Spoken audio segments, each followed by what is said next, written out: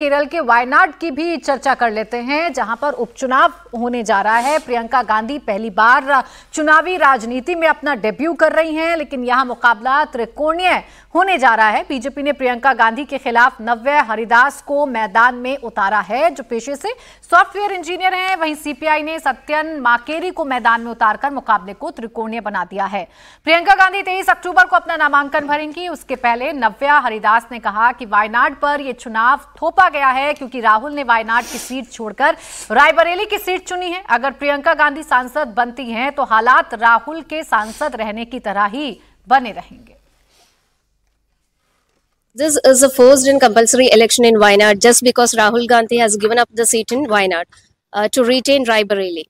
So he had given a uh, bonding to the people of Wayanad that he will be with the people of Wayanad for the coming five years. Uh, but he have break, broken everything and uh, trying to retain the seat in Raebareli. So the people of Wayanad uh, is currently uh, facing a problem. They uh, just faced a problem uh, regarding the landslide, and at that time, they didn't have an representative to raise their issues in the parliament. So the case is going to be similar if Priyanka Gandhi is being elected to the Wayanad Lok Sabha Mandal. Because if we check the last five years, we can see that Rahul Gandhi had visited Wayanad only a very few times. He has uh, desperately failed to address the issues that the people of Wayanad is uh, currently facing. Uh, all these uh, things in the uh, to raise these problems in the parliament. Uh, the case will be similar if her sister Srimati Priyanka Gandhi is going to contest from the Wayanad Mantle.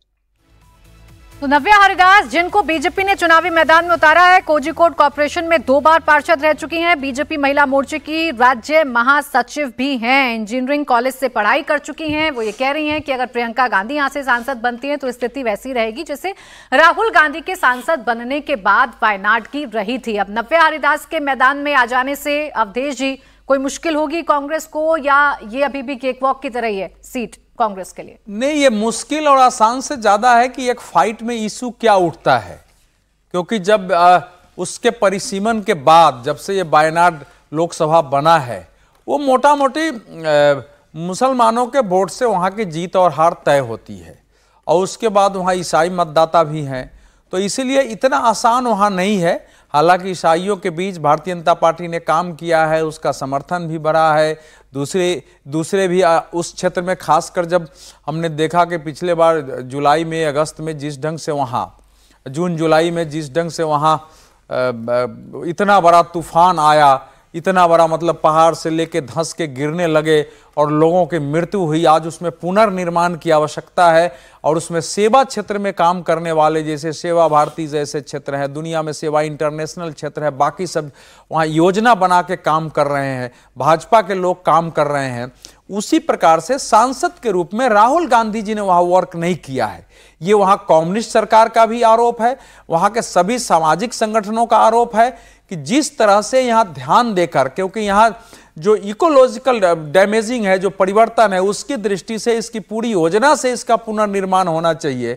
और इस समय जो लोग विस्थापित हुए हैं मारे गए हैं उनकी क्षतिपूर्ति उन, उन, उन, उनके जीवन का पुनर्स्थापन वो सब करना आवश्यक है। वो यहाँ वहाँ एक बड़ा मुद्दा है। लेकिन इन सब मुद्दे के बाद देश की समस्या ये है कि मुस्लिम वोट किसी मुद्दे पर इस समय नहीं जा रहा है भारत में।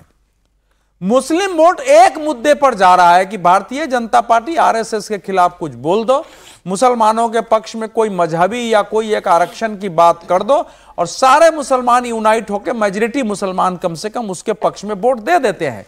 तो जब ये प्रवृत्ति है इसके अंदर कि मुद्दों पर भेंट नहीं होती है, स्थानीय आवश्यकताएँ हैं, शिक्षा है, स्वास्थ्य है, उनके आर्थिक विकास है, कानून और व्यवस्था है, जब ये सब मुद्दे नहीं बन रहे हैं मुस्लिम क्षेत्र में तो ये वहाँ फिर एक लड़ाई हो जाएगी और नब्बे हरिदास, लेकिन नब्बे हरिदास जिस प्रकार से एक सीरियस पॉलिटिशियन के रूप में दिखाई दे रही है, आपने उनका परिचय दे दिया है कि जिस ढंग से इशू पर बात कर रही है सीरियस बातें कर रही है, जो आरोप भी लगा रही है, वो सीरियस है ये नहीं है कि वो बेसलेस बात बातें करना और अनावश्यक जो है अटैक करना। तो इसका अर्थ यह हुआ कि वहाँ अगर कांग्रेस ने भी ठीक से अपना, और प्रियंका गांधी ने केवल मोदी पर हमला करो, आरएसएस पर हमला करो के अगर इशू बेस्ट वहाँ करेंगी तो वहाँ का एक चुनावी वातावरण बेहतर बनने का वहाँ वहाँ एक एक अवसर मिला है। क्योंकि विपक्ष की जो नेत्री है, अगर इस ढंग से ईसु वेस्ट बात कर रही है, पर्सनल अटैक नहीं कर रही है, उनके परफॉर्मेंस का मुद्दा उठा रही है, और ये कह रही है कि उन्होंने जैसे नहीं देखा है उसे प्रियंका वाड्रा भी जीत के जाएँगी, नहीं देखेंगी तो इस ढंग से अगर वहाँ चुनाव प्रचार होता है तो ये थोड़ा बेहतर होगा। बाकी परिणाम को लेकर भविष्यवाणी जोखिम भरी होती है, लेकिन वायनाड में जो समीकरण है खासकर वहाँ के जो जातीय और सांप्रदायिक समीकरण है, उसमें अभी बीजेपी का वहाँ जीतना मुश्किल है। मुझे भी वही लगता है, बहुत कमज़ोर कैंडिडेट दिया है। मुझे लग रहा है कोई अच्छा कैंडिडेट देना चाहिए था। स्मृति ईरानी को भेजा जाना चाहिए था वायनाड, राहुल प्रियंका गांधी के खिलाफ। तो मुझे लगता है कि एक लड़ाई में मज़ा आता। अभी एक तरफा लड़ाई, आराम से प्रियंका गांधी जीतेगी, कोई मुश्किल होगी नहीं।